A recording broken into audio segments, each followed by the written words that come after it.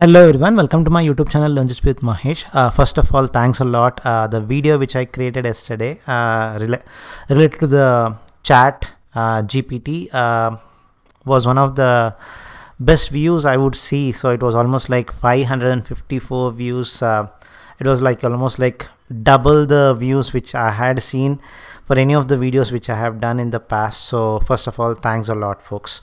Um,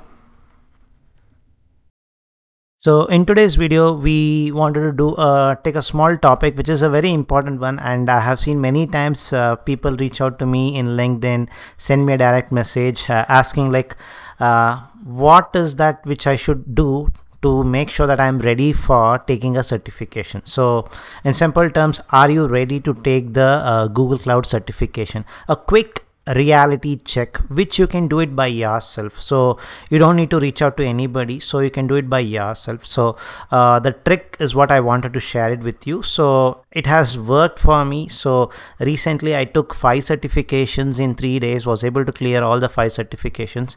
I'm yet to get the certification so once i get it i'll create a video out of that and share some best practices which i followed. So but for today so i wanted to show you a quick reality check which you can do to know whether you are ready to take the exam or you need still more preparation. So let's get started Alright, we are in the official page which talks about all the Google Cloud certifications which anybody can take depending on what kind of background they come from. So for this uh, explanation, I'm going to take the, the entry level uh, certification which is basically uh, Cloud Architect and I'll take one more advanced one which is uh, Network Engineer. Uh, if you ask me, uh, Network Engineer is one of the most toughest exam I would say. So we'll take both the stuffs and compare it and I will show you how do you do the reality check. So uh, the the way you do the reality check whether you are ready to take associate cloud engineer or not is very simple. So you go to the official page the certification. So you click on this cloud engineer you'll reach this page. So once you reach this page right you will see a specific section called as exam guide. This is really really helpful. So when you click on this you will see topic wise uh, what needs to be you should be aware so that you can uh, basically it's going to help you to clear the exam easily to a great extent. So they have divided associate cloud engineer into sec- five sections. That's what you see it. Now assume you have spent some some x number of days or x number of months to prepare for associate cloud engineer now, once you have finished all those things, right, come to this section and read this sentence. So, setting up a Google Cloud uh, project and accounts. The activity includes creating a resource hierarchy. Now, when you see this uh, bullet point, creating a resource hierarchy, how much you can talk about it?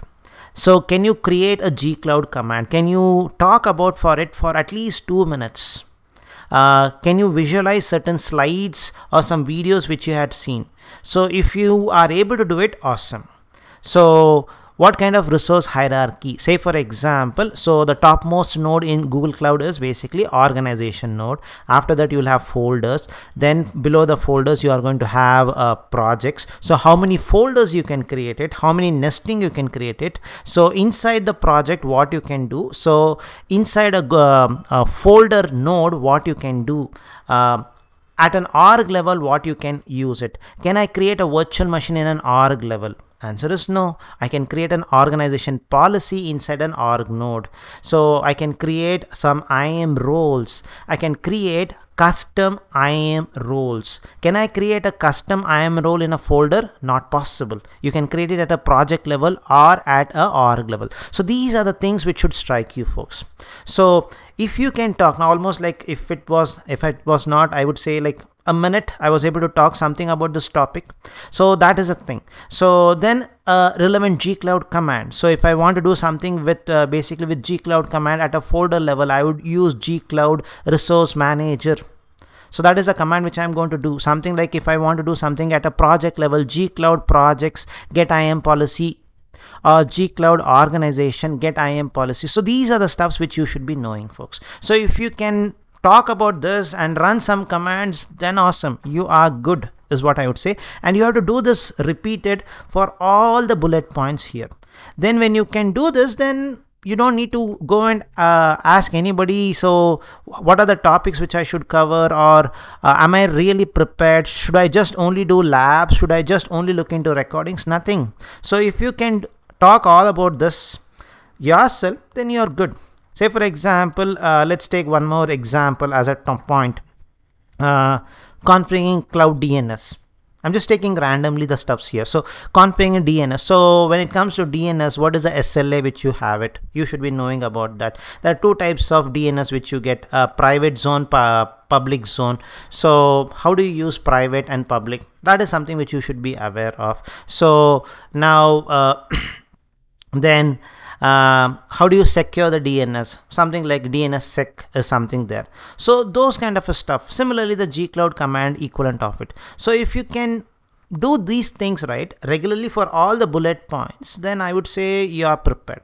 And to be very frank, I followed this literally uh, for my uh, recent certification. I'm yet to get the official this thing, but I have it uh, mentioned in the um, the Kryterion portal. So um, I took basically network engineer. Um, it got expired, so it was a new one. So it was not a renewal. So it was uh, a new one. I took security engineer, and I had taken a recertification of my cloud architect, uh, associate cloud engineer. I took it, digital uh, leader. I took it. So among all this five, the most toughest one I would say was uh, network engineer.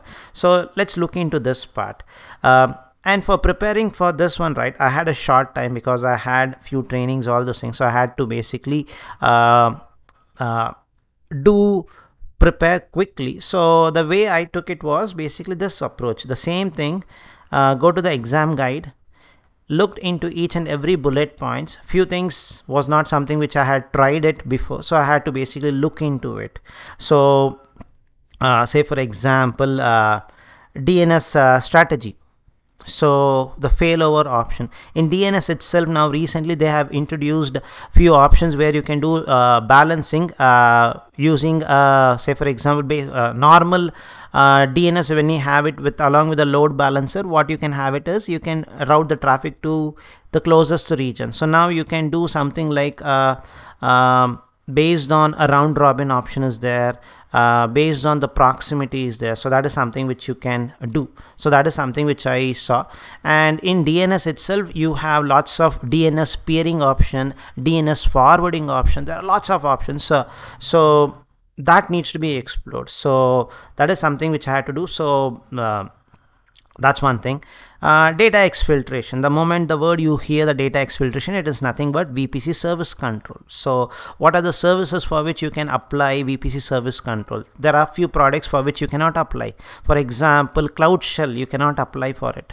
Google cloud console you cannot apply for it. So those kind of stuff is what you should be prepared folks. So um, there was one topic which I had never looked into it. I had to look into this. So this one, uh, equal cost multi-path. So um, I do had I had also seen some questions on this uh, topic. So it was good that I looked into this before the exam looked into the articles documentation tried to do a little bit of a demonstration so which helped me out. Uh, but believe me network engineer was too difficult too difficult. Uh, out of all the five exam which i took the the most difficult one was uh, network engineer. And the most easiest one was uh, digital leader. So uh, i'll talk more about this in one more video. Um, but the gist which i want to talk is a quick reality check if you want to do it the simple stuff is no need to ask anybody. Go to that certification which you want to take. Click on the uh, exam guide section of it. Uh, exam guide, everything. It's the same pattern which Google follows for every exam. Just click on it and uh, you are good and go take each and every point, folks load balancing different types of load balancing. Layer 7 layer 4 uh, internal load balancer external load balancer. So you need to be knowing each and everything of that. So and gcloud command. Believe me or not every exam talks or tests your gcloud command skills. Uh, whether it's an uh, AAS or a network engineer does not matter. They test it in every exam. That's what i have seen at least in the last five exams which i took. Um, 22nd 21st 22nd and 23rd i took uh, in december. So it was basically tested in every exam basically. So this is how you basically do a quick reality check.